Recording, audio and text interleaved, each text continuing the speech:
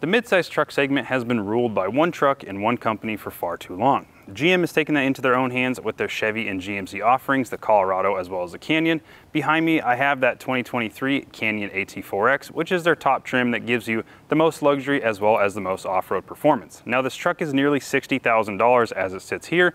Is this truck worth it? We're gonna take a look at it today and see what this has to offer, features, gadgets, and off-road capability, and see if it's worth that hefty price tag of nearly $60,000.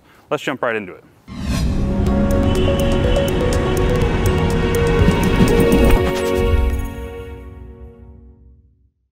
Starting in the front of the GMC Canyon AT4X, for 2023 we have an all new designed front end as well as some other features that we'll talk about here in a little bit.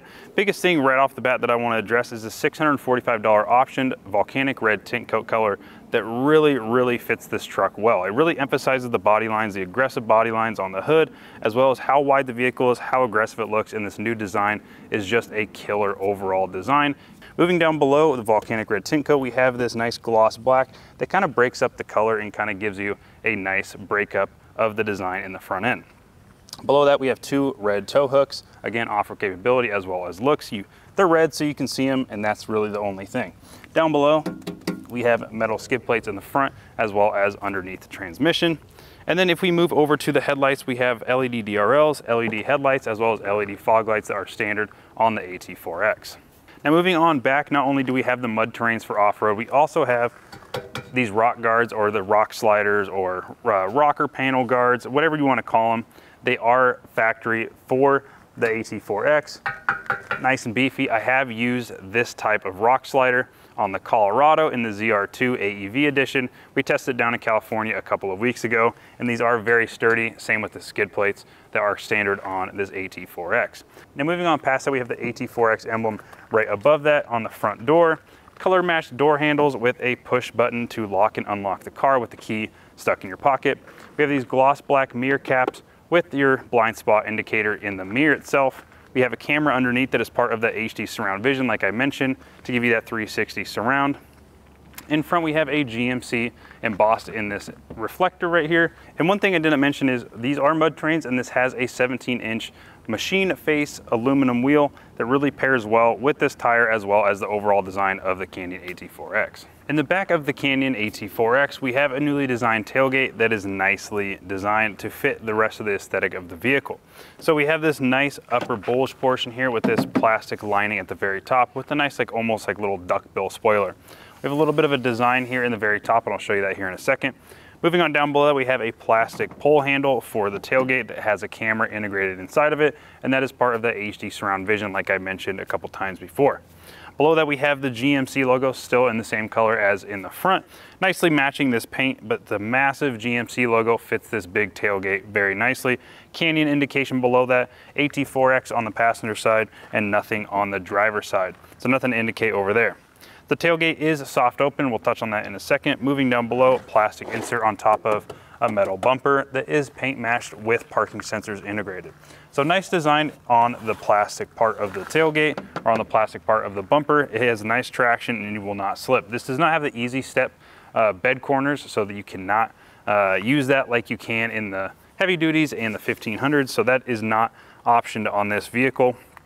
Down below, as you can see, we have a trailer hitch with trailer connections right here, your four pin, as well as your other trailer connection. Now this vehicle can tow up to 6,000 pounds, uh, optioned on different trims you can tow up to 7,700 pounds, but since this vehicle doesn't have uh, the pro grade trailering system, it can only tow up to 6,000 pounds. So unfortunately, it's kind of uh, diminished because this is the AT4X. So other trims like the Denali AT4, as well as the Elevation, equipped properly, can tow up to 7,700 pounds. Now opening the tailgate, this is a soft open, so it is damped, slowly opening. Like I mentioned, design right here on the top of the tailgate.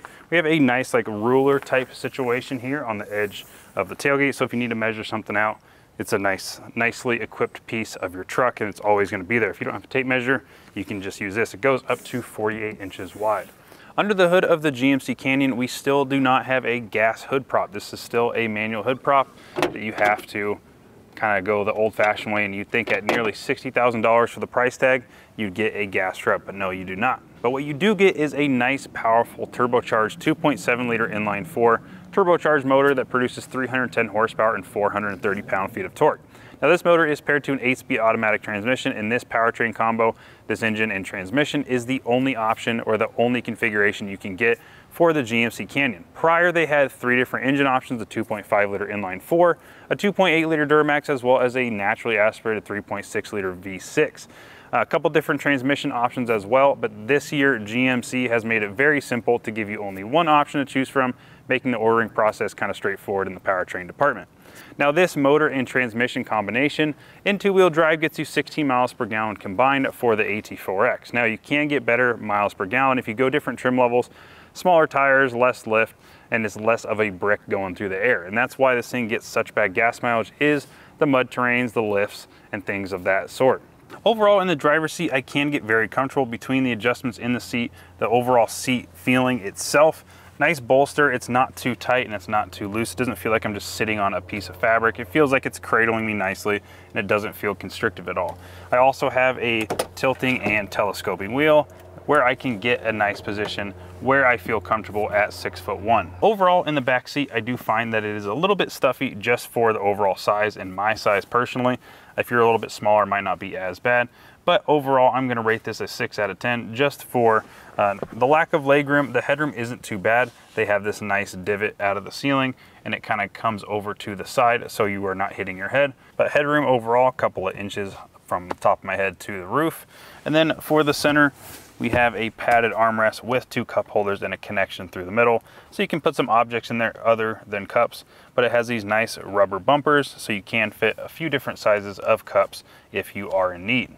Inside you can find the Obsidian Rush interior color with ceramic white accents, and the seat is a very attractive seat. It has perforations throughout the middle, up the seat back, and then it's broken up nicely between the white and the black with these red accents. You can find red stitching all throughout the seat back, red stitching going throughout the headrest, and then all the way down, nice AT4X logo embroidered on the right side of your driver's seat and the left side of your passenger seat. That red stitching continues throughout the vehicle. So you can see here on your armrest, nice padding, double stitched, and then your cup holders for those rear seats. Opening up the center console, we press the button on the front. That pops open nice and sturdy so it stays open and does not flop back down. We have this removable cubby that is big enough to store wallets, keys, small objects of that nature. Take that out, put that to the side. Then inside, it's nice and deep, wide access, where we can find a 12 volt cigarette lighter, charger right there. No lights or anything on the interior of the center armrest, but there is that camo pattern that you are gonna find throughout the rest of the interior. But this is big enough to house maybe a half gallon of milk. Up past the center armrest, you're gonna be able to find two cup holders, driver, passenger one, and then a phone holder right in the middle. Slide your phone in there and it stays sturdy whether you're charging it or just placing it there while using the wireless CarPlay. In front of the cup holders we have our electronic parking brake, our drive mode select as well as our 4 low, 4 high, automatic four-wheel drive and our 2 high selector there. This is a 2-speed transfer case so we can select from those features. We have our gear select so we have park, reverse, neutral, drive, and low. In front of that we have our Qi wireless charger, that camo pattern that you found in the cup holders and center console continues on up here.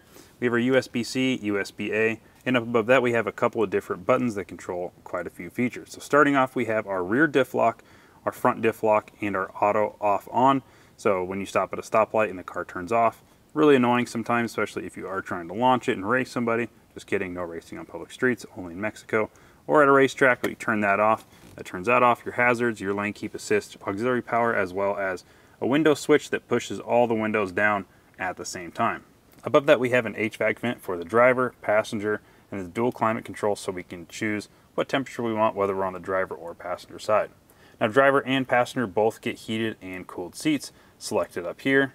And then we have some of our HVAC controls where we can turn fan speed up or down, where the air is going and things of that sort. Now that we have this turned on, let's take a look at our 11.3 inch infotainment screen. Real quickly, you know how Apple CarPlay works, it's wireless. We got that going here. We have some nice chase and status going on our music. Our Google Maps equipped infotainment system that is previewed right there. Scrolling over, we can take a look at our apps, our camera app where we can turn that on and it'll show us all the way around the, all the, way around the vehicle, part of our HD surround system. Then we go over to the last slide of our homepage and we have a couple of off-road features that I wanted to go over.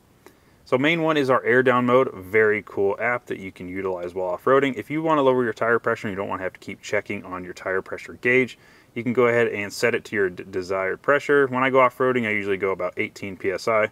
You go ahead and press start. If the vehicle is on, this would be illuminated.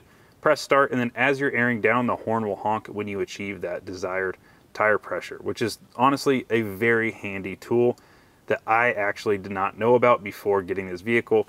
And it just is one of those things that GM thought about and just knocked out of the park.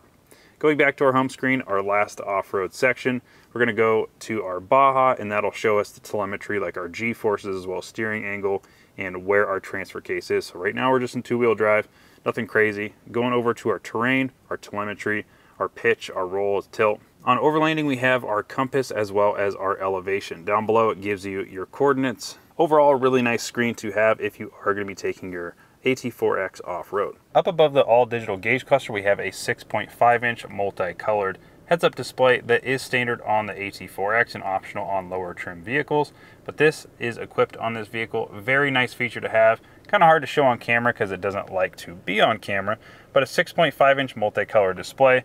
Nice to have that so you have your miles per hour up there and you can change different settings as well as turn it on and off from your 11.3 inch infotainment system. Up on the center dash, we have a little bit more storage with that camouflage design continuing. Our Bose speaker right there indicating that we do have a Bose premium sound system. And that is the only indication throughout the vehicle. There is no indicators down below on the door panels and nothing else throughout the vehicle. On the driver's side door panel, we have our memory seats right here. Press one, two, two different settings for our memory seats, lock and unlock, as well as our window switches here down below. Overall, performance-wise, I got a 7.2 0 to 60. This is rated at around a 6.5, 6.8 0 to 60. I was not able to get that. Now, if you were to get into some certain modes and different traction levels, where I am, um, the surfaces are fairly smooth and not very rough. So I did find that there was a little bit of wheel spin. Uh, when that turbo kicked in on that 2.7 liter turbo engine, it just seems like it spun every time in rear wheel drive. I did not launch it in four wheel drive. I just wanted to get a base 0 to 60, just as it would. You turn it on and you go fast. That's what it's going to be. So I got a 7.2 0 to 60, which overall isn't too bad for having massive mud terrain tires on it. That's really not bad. Three inch lift, this thing's a brick going through the air. So 7.2 seconds, not too shabby. So for braking, I find that the brakes work great in this truck. Now the biggest downfall is the mud terrain tires when you are getting on the brakes hard. And what I mean by that is mud terrain seem to have a lack of traction in certain situations. When you're off-road, obviously like in mud, those things are gonna shine. But when you are on cement, asphalt, tarmac, whatever you're on, I mean, you're gonna find that it does lack a little bit of traction in those emergency situations. So when I'm slamming on the brakes, I do find that the ABS kicks in because I am skidding a little bit, but the brakes are stopping a lot of rotational mass between those mud terrains and these aluminum wheels. It's stopping a lot of rotational mass, a lot of mass in the vehicle, nearly 5,000 pound truck. The brakes feel great overall. The pedal itself is nice and linear has a nice firm feeling to it. I don't find there to be any dead spots in the end or at the beginning of initiation. Some trucks I find that like the first little bit, there's almost like a computer delay between when you tip into the brake and when you actually feel the car starting to slow down. So overall, brakes feel great in my opinion. I don't find the need for any bigger brakes and this is an off-road type vehicle. It's not a performance-based vehicle like a track-based vehicle. So you're not gonna really get like that heat soak off-road, you might start seeing some things like if you are going down hills and uh, kind of hard Baja type racing, maybe you can find like the limits of the brakes, but overall I don't think the general consumer is gonna find the limits of the brakes on this vehicle for what it is intended for. Now as for handling, I do find this truck to be stiff and that's kind of a good thing and a bad thing. And the reason being is this has the DSSV Multimatic shocks on it and it is a off-road capable vehicle. So there is kind of a give and take in the off-road scene. When you do have a like Baja high-speed type suspension equipped on your vehicle, it is gonna ride a little bit stiff on the road. But when you go off-road, you really do find where these shocks shine and it really makes you kind of be okay with the stiffer ride on road. But for handling, I do find that around corners, it's very planted, feels very compliant, and I just don't find that I need any softer suspension because any softer, you're gonna get a lot of body roll. This is, feels very planted. Granted, this is, does have a three inch lift over stock height, So it is kind of center of gravity is kind of a little bit higher than normal.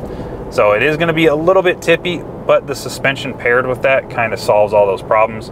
Now on road, if you are gonna be daily driving this, I might suggest looking at a different trim that is a little more road worthy or a little bit more road centric. This one is definitely an off-road vehicle on road. It's not an on-road vehicle off-road, if that makes any sense to you. Now overall ride quality, I'm gonna rate that at a C+. plus. Now reason being, this is where that give and take comes into play. So it is nice in corners where it feels stiff and planted, but for overall ride quality, it is a stiff ride. When you hit a bump, when you hit a pothole, you feel it. I mean, with these mud terrains, they are a thick tire. You have stiff suspension that is made for off-road. So overall ride quality is stiff, but compliant. When I find potholes, you do feel them, but it doesn't shake your body. It doesn't shake the vehicle apart. So when cruising at 60 miles an hour and you floor it and let it rev out through the gear, I got 80.5 decibels as my highest max reading. So overall, I'm gonna rate the interior cabin noise at a C+. plus. Not too bad for what it is.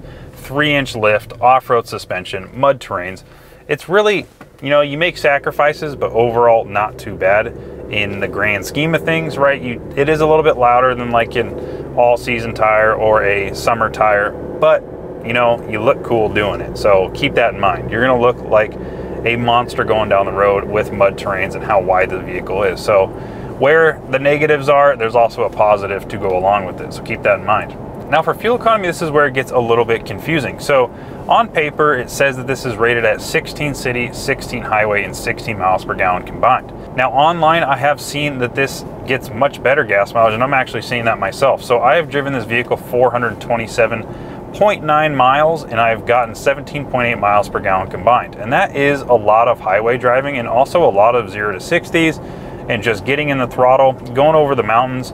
I uh, was passing cars because it's 2.7 liter turbo. Definitely likes to be in boost and at higher RPM. So honestly, not driving this thing gentle and I'm getting much better gas mileage than what it's rated for. Now let's touch on some pricing for the GMC Canyon AT4X.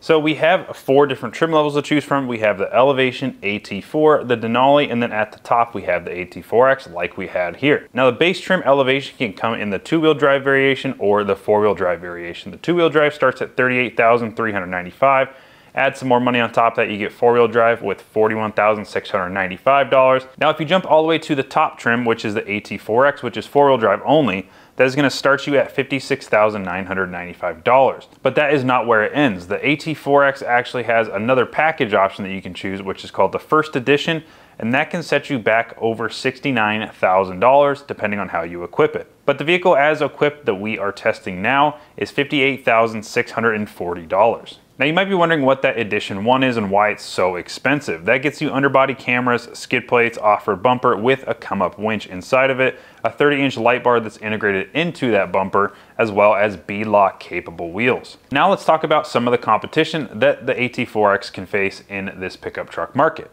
The main competitor is going to be the Toyota Tacoma, with it being the TRD Pro, which is going to be the most equivalent to the AT4X.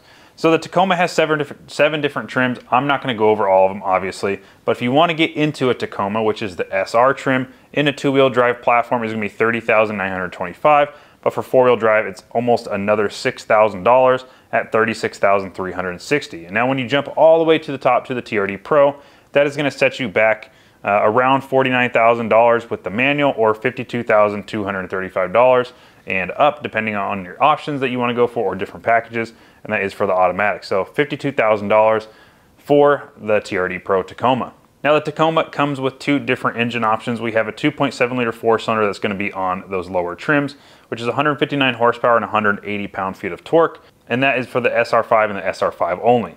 Now every other trim is going to get the 3.5 liter V6 that has been in the Tacoma for a very long time. That's 278 horsepower and 265 pound-feet of torque. Now one thing I want to mention is I'm talking about the 2023 Tacoma. There is a 2024 an all new redesign, new powertrain, all new interior, new design, all of that good stuff. And uh, that is going through its publicity tour right now. It has not currently hit the markets for purchase, but it will be here soon, maybe at the beginning of 2024. The 2.4 liter non-hybrid turbo motor is going to get you anywhere from 228 horsepower up to 278 horsepower, depending on what trim level you go with. Now, if you do get the iForce Max, which as of right now isn't scheduled to be released until the spring of 2024. That's gonna get you 326 horsepower and 465 pound-feet of torque. So a massive, massive improvement in the powertrain capabilities from the 2023 to the 2024. Now, you do get some different things like a 14-inch touchscreen, uh, a bigger uh, gauge cluster as well, all digital gauge cluster, and that is optional. I'm sure the base trims will not have that.